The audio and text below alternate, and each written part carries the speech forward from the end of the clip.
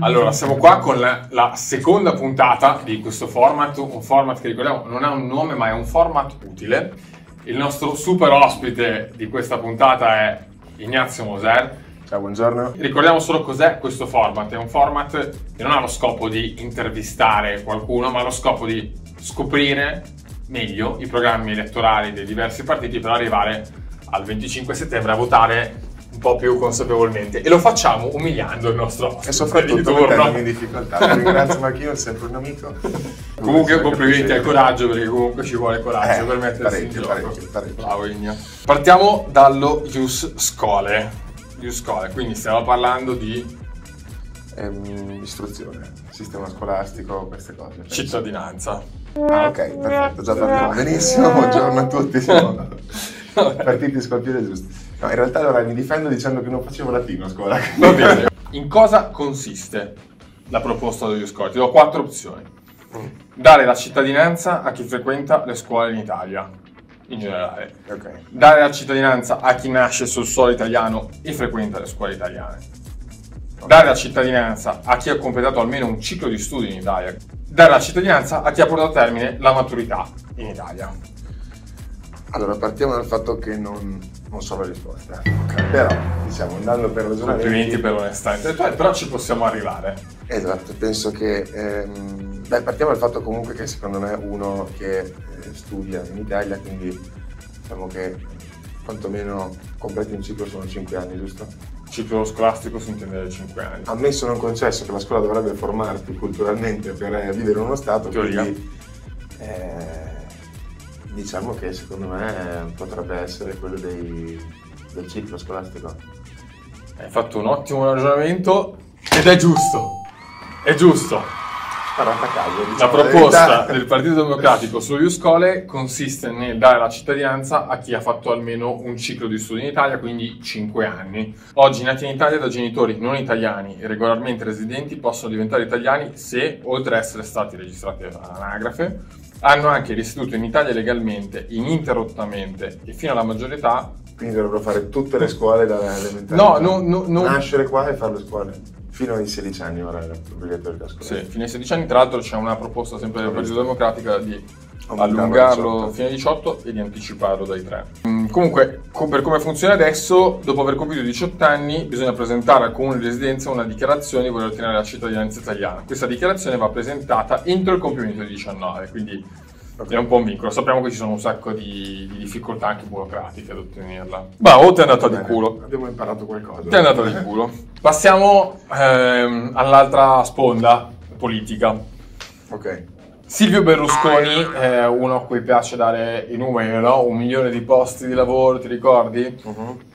Questa volta eh, fa un numero su più alberi da piantare. Quanti alberi in più ha proposto di piantare Silvio Berlusconi nel nostro paese? Mm. A 100k, B 500k, C 1 milione, D 10 milioni. Allora, anche questo, diciamo che il numero esatto non lo so, però andando per ragionamento, 100k non esistono, cioè non è come non piantarli perché in Italia Sono un po' pochi 100.000 forse. alberi non, non penso che sia una, una cosa che cambierebbe le sorti della Mm. nostra situazione ambientale.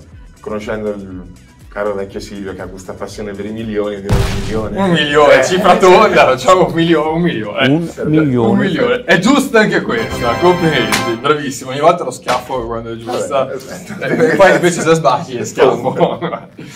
Allora, eh, tra l'altro l'ho puntualizzato perché c'è stata un po' la polemica perché lui ha detto vogliamo un milione di alberi in più in Italia. E tra l'altro il PNRR prevede già milioni di alberi piantati in più in Italia e quindi lui ha dovuto puntualizzare che è un milione aggiuntivo. Infatti il PNRR stanzia 330 milioni di euro per piantare un totale di 6,6 milioni di alberi in 14 città metropolitane. Bravo Ignazio, andiamo avanti. Parliamo di salario minimo. Ok. A quanto ammonta la proposta di salario minimo del Movimento 5 Stelle? 8 euro all'ora, 8,50 all'ora, 9 euro all'ora, 10 euro all'ora. Difficile, eh? Allora so che c'erano due, due correnti di pensiero, una da 10 e una da 9. Però sinceramente non mi ricordo quale sia quella da 9, cioè se il Movimento 5 Stelle è la 9 e il PD è la 10 o se... Quindi direi 10. No.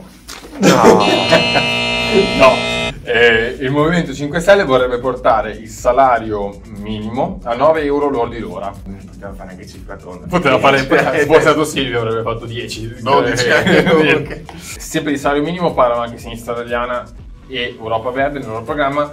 Loro sono loro a dire 10 euro lordi l'ora. Azione Italia Viva non hanno inserito il salario minimo nel loro programma, ma Calenda ha più volte aperto questa possibilità dicendo che nessuno dovrebbe guadagnare meno di 9 euro all'ora. Bene, finalmente abbiamo avuto il primo errore. A quando la candidatura di Ignazio?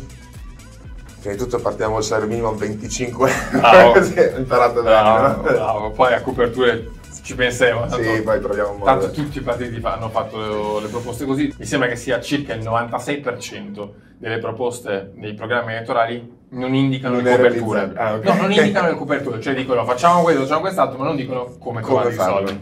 Come si chiama la legge contro l'omotransfobia presente nel programma di Azione Italia Viva? DDL Zan, DDL Scalfarotto, DDL mi DDL Zan è stato uno dei temi più... Volevo capirlo meglio. Quindi Caldi. DDL Zan sicuramente non è Partito Democratico. E DDL Scalfarotto era stato Renzi o Calenda? Renzi? Sì. Renzi.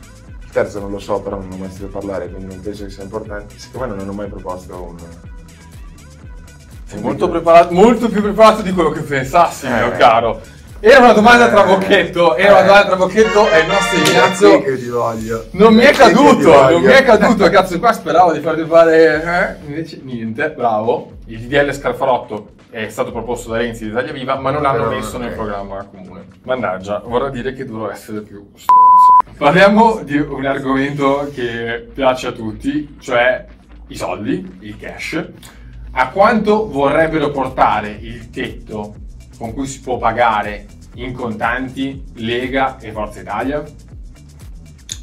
A 1000 euro, B 3000 euro, C 4000 euro, D 10.000 euro. Ah, so che continuano a fare un casino questo tetto e lo alzano, a abbassano, alzare, dopo lo abbassano, poi sì. allora lo rialzano. Le montagne russe. Adesso 2000, no? Adesso è a 2000, ma dal 1 gennaio diventa 1000. Ok. Quindi Salvini e Berlusconi sarebbero i due, Sì. diciamo, interessati, ma conoscendo un po' il loro politico, magari potrebbero alzarlo un po', non lo so. Loro sono sicuramente a favore del- di, di contante, dicono che non sia una misura efficace. La, la- la principale motivazione per abbassare il limite dei pagamenti di cash e per contrastare l'evasione. Loro dicono che non si è dimostrato che eh, combattere l'evasione, dicono di essere a favore delle libertà e quindi dicono di alzarlo addirittura a 10.000 euro. A 10.000? Io sono molto a favore delle libertà, però mi chiedo anche chi è che deve pagare 10.000 euro cash. Boh, mi sembra un Aspetta po'. che avevo giusto portato Eh, una cosa per visto Mi sembra un po' un, un problema, sinceramente. Tu di solito con quanto giri di cash? Ah, io di solito un 30-40. 30-40. Poi giusto sai magari l'imprevisto. 30-40. Eh sì, sì, può capitare qualunque cosa, si sa mai, magari ti deve comprare la macchina. Pocket money, sì, eh, sì, sì, sì. Pocket money. Ignazio, eh, ti sei guadagnato un premio. Ok? Ultima domanda. Ok. Sono Eh, pronto. Un argomento eh, serio di cui si è parlato abbastanza poco. C'è un partito che propone di proporre una figura, una figura di assistente all'emotività, all'affettività e alla sessualità per le persone con disabilità. È una roba importante. È una proposta del Movimento 5 Stelle, del Partito Democratico, di Più Europa oppure di Italia Viva. Non sbirciato. No, no, no, qui devo dire che proprio, cioè nel senso più che altro poi sono tutti e quattro, diciamo, del filone di quello che proprio apparteneva a questa, questa proposta politica. È un po' un tirare a caso, sono sincero. no? Non è facile, Eh. anche perché se ne è parlato poco. Infatti non ho mai sentito parlare di questa cosa, a malincuore anche devo dire perché, eh, boh, potrei dirtene uno come l'altro, Partito Democratico. No! Eh. Finalmente, cazzo! Italia Viva? Finalmente! No, vai avanti, no? Italia Viva? No. Movimento 5 Stelle? No. Ah, più Europa?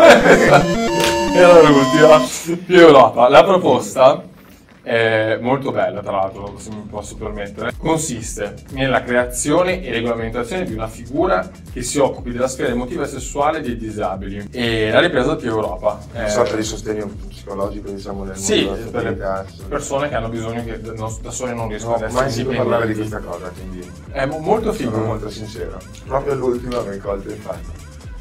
sono molto contento di esserci riuscito, però complimenti. Me ne vado abbacchiato. allora. No, no, te ne vai a testa altissima, te la sei cavata molto molto bene. Bravissimo Ignazio. Grazie, grazie Igne di averci a aiutato meglio a capire i programmi e ci vediamo con la prossima puntata. Ciao a tutti, grazie. Grazie.